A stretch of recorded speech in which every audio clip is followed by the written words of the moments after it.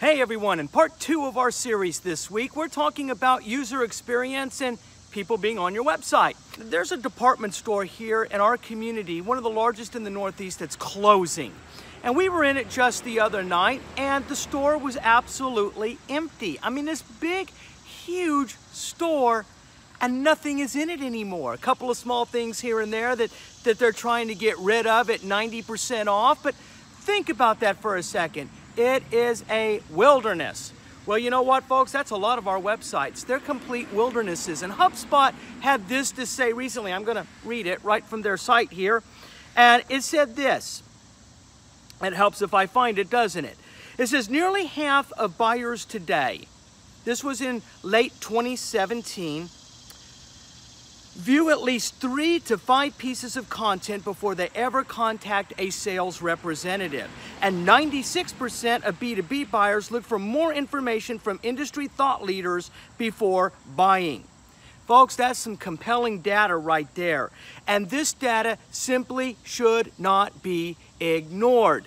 The reason why the user experience on your website is not good, why people are not staying, why people are not filling out the forms, why people are not calling you, why people are telling you, I saw nothing on your website and that's why, you know, I'm not buying from you, is because there's nothing there. It's an empty store. For Google to do its magic, you know, the, the most content you're going to get coming you know, from people to your website it's going to be through your blog. It's not going to be your homepage. It's not going to be your about page. It's not, the, if the content is done right, it's going to come through that media. So let's talk about content for a second. What is content? What does it look like? And I'm going to move this camera for a second because isn't that funny how the sun moves behind us? There we go. So let's talk about what is content real quick. Well, content is a lot of different things. It's not any one thing. Content is text. It's the articles on your blog. It, it is the information on your homepage. Content is simply anything and everything you put on there. That could be text, it could be audio, it could be video, like this is content. We're creating it right now. And then you distribute that content through lots of different medias. And we're gonna talk about distribution more tomorrow. How do we get people to see the content that we create. But first and foremost, if you want to get people to your website, you are going to have to focus on creating content. Otherwise, your website performance and the user experience is not going to be very effective.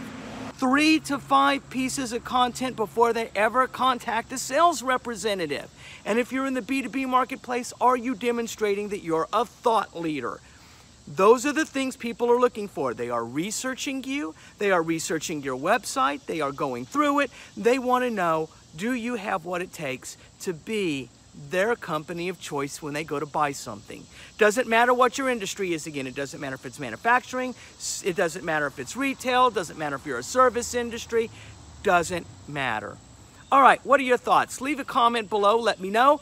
Also, we've got a webinar coming up that's going to address this very subject on uh, Tuesday, September 11, 2018. You're going to want to be a part of that. Join in with us. You're going to learn exactly what we're talking about right here today in this video about how to drive traffic to your website in 90 days or less. Content plays a huge role in that. We're going to talk about the different types of content and how to create the right content.